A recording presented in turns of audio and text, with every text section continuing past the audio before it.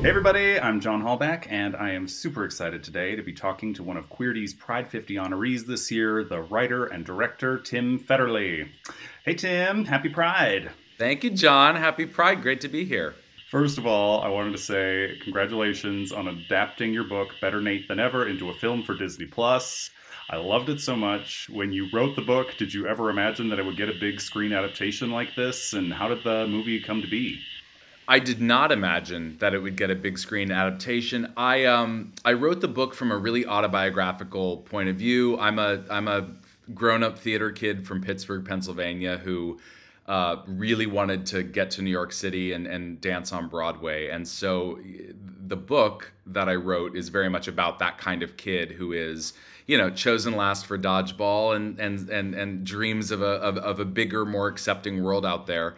And then, sort of all these years later, I, I created High School Musical for Disney Plus, the series, and uh, and there was a gay executive in the movie division who read the book and was a fan of the book and brought it to me and said, "I think we should make this a movie." And and it was a it, I, it wasn't even a dream come true because I did not dream that big, but it was an absolute it was an honor to to tell this story wanted to ask you about one of my favorite moments in the film when Nate is asked if he has a monologue and he then proceeds to perfectly perform Julia Sugarbaker's iconic and that was the night that the lights went out in Georgia speech. Yeah. I was wondering, do you remember when you first saw that episode of Designing Women? What's your history with this moment and what gave you the idea to include it in Nate's story? I mean, I was such a like prototypical Designing Women and Golden Girls super fan growing up. There was like such such a safety with those women and also such a kind of unapologetic fabulousness to all of them, even before I knew what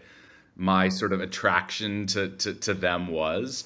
And there was something about it that felt so campy and so instantly identifiable to a certain audience that I thought was a really fun thing for a 13 year old boy from the Midwest to say because I don't think he even quite realizes, you know, what this speech means to the larger community. Uh, one of my other favorite parts about the movie is the casting of Lisa Kudrow as the very relatable actor slash cater waiter. I was just wondering uh, what gave you the idea to cast her and what was it like working with her? I just think Lisa has such depth as a comedic actress and she brings such pain and truth to everything. So I basically wrote her a fan letter and said, "You don't know who I am, uh, and I bet you've never seen High School Musical, the series on Disney Plus. But I've got this role that I truly believe you were born to play. Give me a shot." She read the script. We zoomed, and uh, and she she got it. And I think she was really interested in being part of, frankly, the first ever sort of gay Disney protagonist at the center of a story like this, that was moving to her. And I think she saw the importance of that. And uh, I mean, what was it like to work with her? It's like never meet your heroes unless they're Lisa Kudrow. She's so approachable, so funny, so easy, and just uh, the, the dream. She's the dream between Better Nate Than Ever and High School Musical, you've been given such a unique opportunity to tell stories about young LGBTQ people to such a huge family audience and i was just wondering how does that feel? And do you have a sort of personal philosophy as to how you approach that? Uh, I mean, it feels it feels great. I think there's something bold about saying, you know, we we are members of your family, and so it's very powerful to tell a story that's unapologetic and I think celebratory of the queer experience, which can be so musical and optimistic and snarky and beautiful. Any final pride wishes for everyone out there? I guess my final pride wish is, um, you know, a lot of us have been inside for a long time because of COVID, and then others of us have been inside a long time because of the closet.